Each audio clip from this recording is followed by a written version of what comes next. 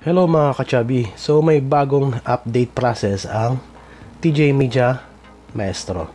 So sa lumang proseso ng pag-update sa TJ Media ay kailangan natin ng Internet Explorer at kailangan mong i-install ang mga ActiveX controller nito. Pero ngayong 2021 January ay may bagong proseso ang TJ Media. So pwede mo na itong gamitin sa Chrome internet browser at kailangan mo lang install yung software na galing sa newsongs.tjmedia.com.ph na website. Ito po yung update website ng TJ Media. So, kailangan nyo pong install yan at napakadali lang pong gawin yan. Kiklik mo lang siya at mag install na siya. So, samahan nyo ako dito sa video. Tara!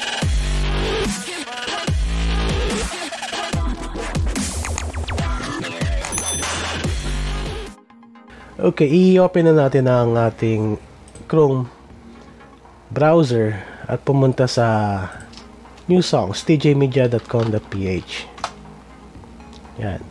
Okay so depende sa player mo uh, kailangan mo lang i-click yung model mo. So in my case TKR335P Maestro yung aking player. So i-click ko yan. So kailangan mo lang piliin tong uh, download period. So kunwari matagal kang hindi nakapag update, kunwari last December 2020, so ang i-download mo ngayon ay yung period na mula sa January 2021 at yung latest release. So sa sa video na to ay yung latest release ay yung February 2021. So pagkatapos mo piliin tong period na to, pwede mo na siyang i-click yung download sa dito sa pinakababa ng page.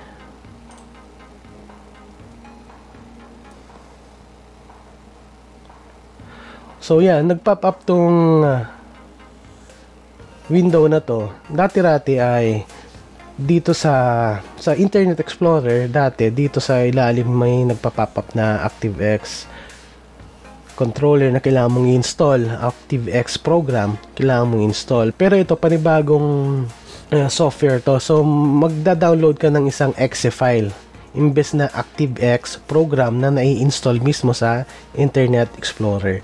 So this time, gumawa si TJ Media ng installable na exe file. So i-click mo lamang itong OK dito pag nag-pop up to. So sa inyo guys kung medyo mabagal yung internet nyo, ay matagal mag-pop up to. So kailangan antayin yung mag-pop up tong window na to. Okay? Tapos pag lumabas na tong window na to, i-click nyo na lamang yung OK. At ayun na nga yung sinasabi ko exe file. So may may magda-download na TJ Smart Client. So install niyo i-save niyo 'yan. At syempre install natin 'yan sa ating mga computer. So makikita niyo to medyo nasa Korea, ah, medyo nasa Korean yung ano niya, language niya. So safe naman po 'yan. Hindi ko na naiintindihan pero okay siguro safe na yan kailangan i-install natin dahil kung hindi nyo i-install to hindi naman kayo makapag-update so yung A siguro ang ibig sabihin nito eh agree disagree oh. so mag-agree tayo sa license o kaya kung anumang klaseng agreement to kasi nga na, naka Korean so i-click na lamang natin yung agree. Itong button na to. A agree. Yan. So mag install siya at magda-download ng additional software .NET FX blah blah blah. So safe naman tong uh, i-download at install. Kung gusto niyo i-click niyo muna yung more details kung naiintindihan niyo yan. Ako hindi hindi ko masyado naiintindihan yan. So i-accept ko na rin dahil may tiwala ako. Yes.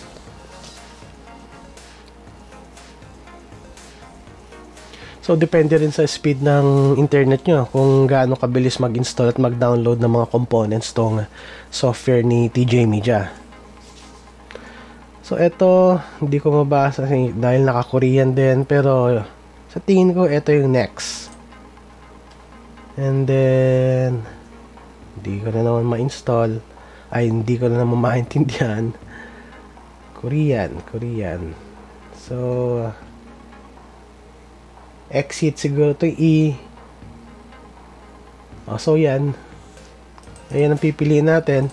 Next. Next. Okay. Pasok. Sa banga. You want to allow this app to make changes to your device? Sige, okay natin.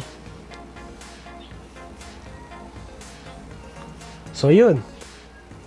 Nag pop na tong downloader ni TJ Media. So, yan na yung ano, update. Ito na yung mga update files na kailangan i-download. So, i-click ngayon natin yung download. Yun.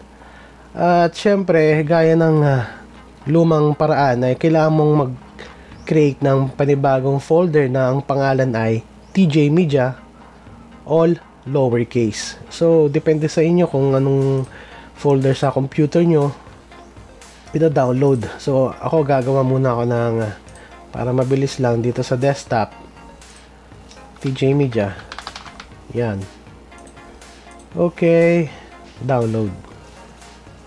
Siyempre, depende rin sa internet speed nyo yan kung gaano kabilis mag-download.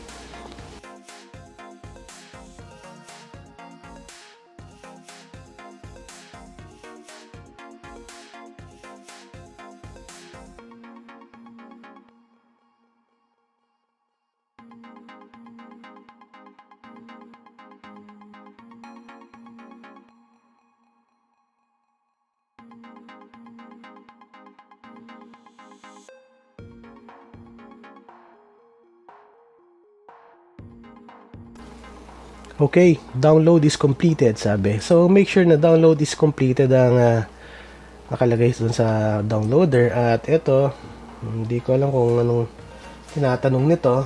I-click ko kaya to. C, cancel siguro. Tingnan natin. So, wala naman masyadong nangyari.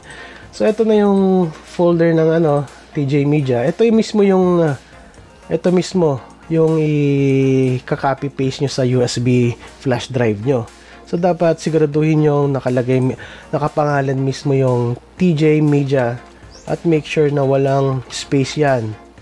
At lowercase lahat, maliliit na letra. So i-copy paste nyo na to sa USB flash drive nyo. Okay? At mag-proceed na sa update process sa video okay player. Okay, so ililink up ko na lang yung uh, previous videos ko tungkol sa pag-update ng player at hindi ko na kailangang ulitin pa dito sa video na to. Ililink ko na lang yung eksaktong timestamp ng video para hindi na kayo mahirapan pa. Okay? Okay, balikan natin yung window ni TJ Media. Ito, kung uh, kung ano kaya mangyayari kung sunod na visit mo dun sa kunyari, kunyari mag-update ka ulit sa susunod na buwan tignan nga natin kung anong magiging reaction ng browser doon sa website ng TJ Media.